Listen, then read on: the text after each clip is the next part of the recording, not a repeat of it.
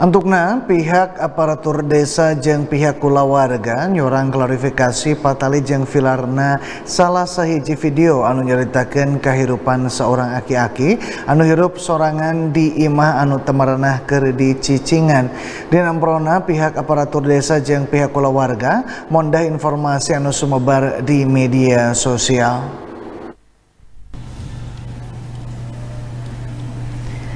Satu tas lalajo postingan dina media sosial anu jadi sabiwir hiji di papada masyarakat anu esina nyaritakeun seorang aki anu hirup sorangan di imah anu henteu merenah keur di cicingan dumeh meh-mehan rugrug PJS Kepala Desa Cikairo Utara Kecamatan Wado Kabupaten Sumedang Provinsi Jawa Barat serta incu tieta aki-aki antuk nanyorang klarifikasi.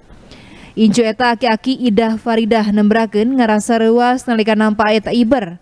Pangna kitu salila ieu akina cicing babarengan jeung dirina. Memang eta akina teh remen ngalanto ka imahna anu baheula. Tapi eta ge ukur pasi siang tuluy balik deui ka imahna ka peutingnakeun. Media sosial ini sendiri gimana teh menurut teteh? Kaget soalnya nggak tahu. Oh nggak tahu, teh. Nggak tahu. Uh, ya nggak ada konfirmasi dulu gitu Oh, nggak. ke pihak keluarga gitu. Hmm, Berarti yang diviralkan di media sosial itu benar atau enggak sih teh? Betul.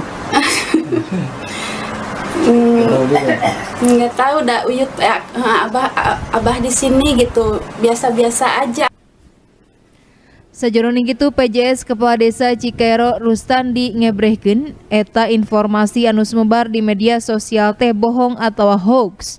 Perangkat desa ngerasa reuas nalika lalajo eta video dumeh eta hal nguniangkeun sawangan yen warga di lelewekna henteu katalingakeun ku pihak desa. Mau mengklarifikasi bahwa eh, satu kondisi Pak Aceng yang sebenarnya itu istilahnya rumah ini sudah tidak dihuni sama Pak Aceng dan Pak Aceng eh, berdiam di salah satu cucunya yang kebetulan tidak jauh dari lokasi rumah bekas beliau.